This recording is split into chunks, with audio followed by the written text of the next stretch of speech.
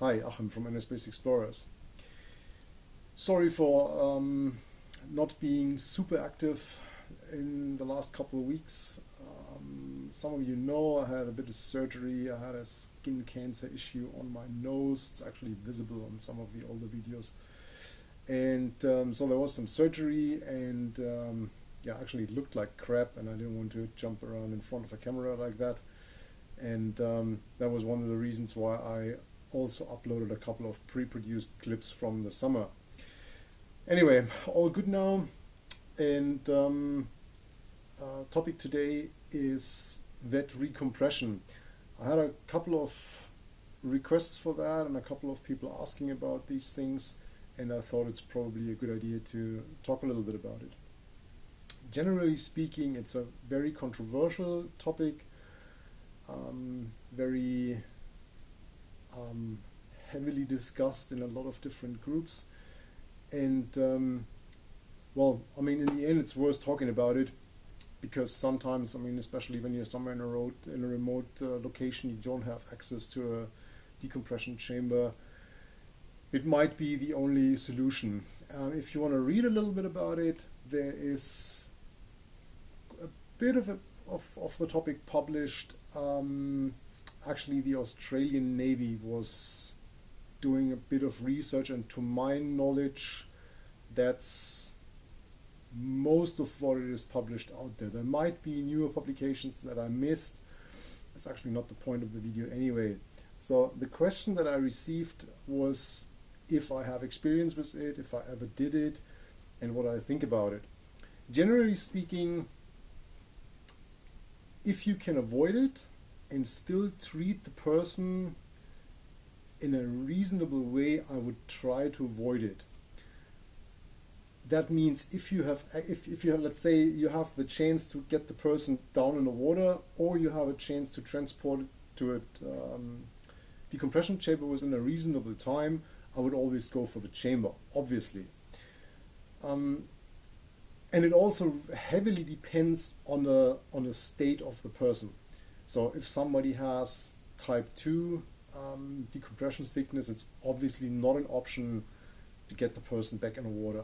I mean, wet recompression, again, talking about military, um, with a complete different supply chain and a complete different uh, logistical setup, and probably a um, even if it's a, a diving bell or something like that, is a total different story than putting a diver with a regulator in the mouth back in the water. You always have to look at the logistical side of things, which means do you have enough gas for that person? Do you have enough gas for somebody to go in the water with that person? How is the decompression status of the second person? Is it somebody that did the same dive and just came out from decompression, or is it a support diver? Is the skill level of that person good enough to fulfill this task? Um, what is about the temperature, um, especially after a long dive? So somebody did a long dive, did decompression, ran into an issue, now you put the person back in the water. Is that clever? And so on. So there is quite a few considerations to take into account. And in I would say in most cases the answer is no. So um, question if I did it, yes I did it once. Um, in the Caribbean, the person that I was diving with was obviously not properly hydrated.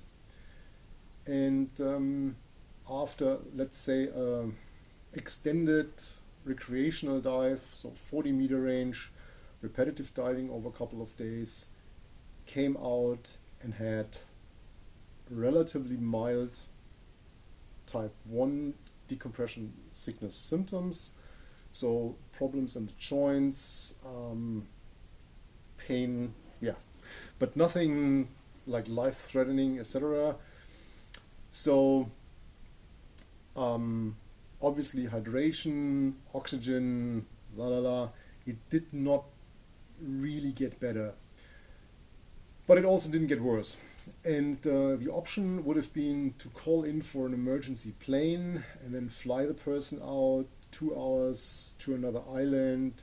Nobody really knew or could figure out at that point if that chamber that should be there is in working order. So it was a lot of ifs. Um, water was super warm, I think 28, 30 degrees Celsius. Um, gas logistics were super easy. We were on a site. It was um, oxygen was available in huge quantities. All good.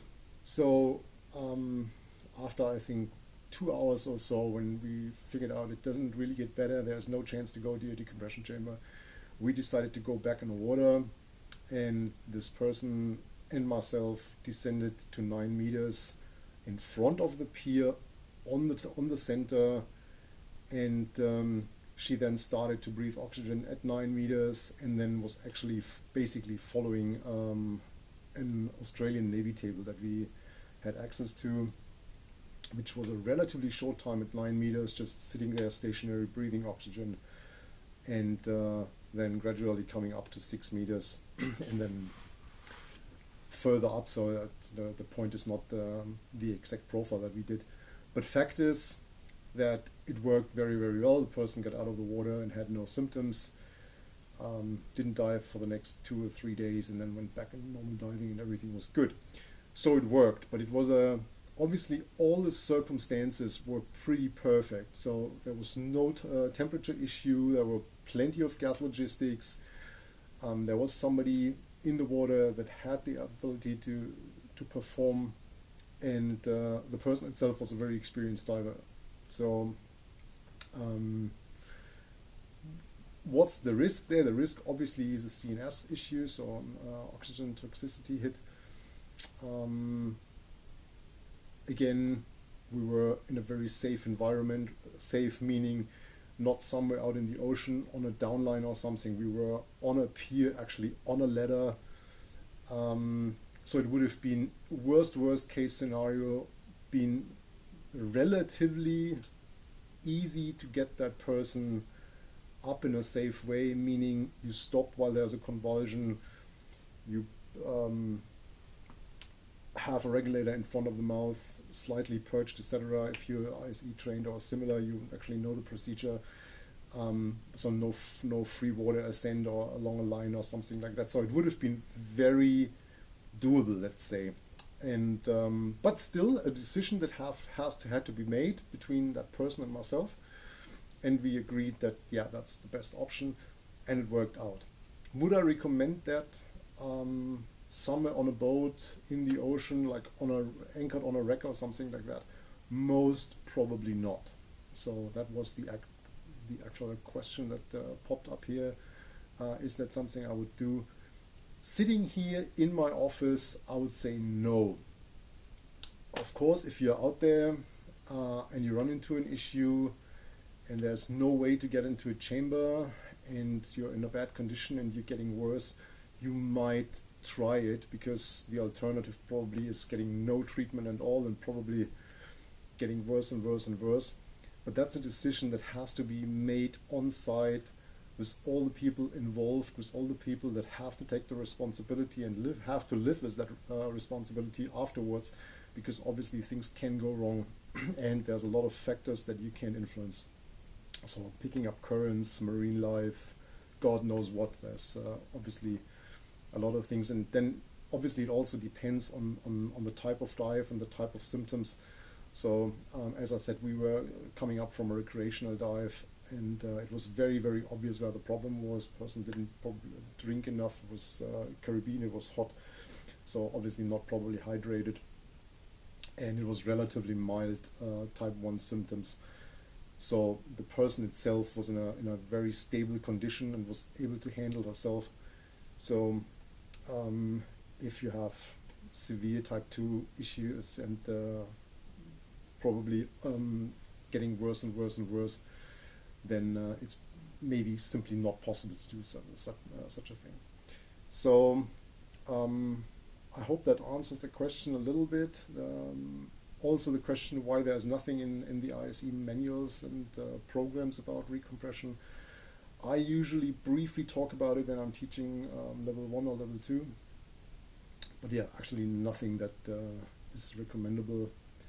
But uh, nevertheless, it's a very interesting topic, and uh, if you want to look a little bit further into it, I'll put a couple of links in the description of the video where there's um, interesting stuff to read. And um, yeah, I hope you like that.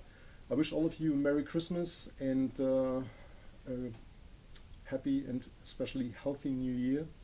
And I hope that we um, can properly dive and train again in 2021. And yeah, all you stay safe and I hope to see you in the next video.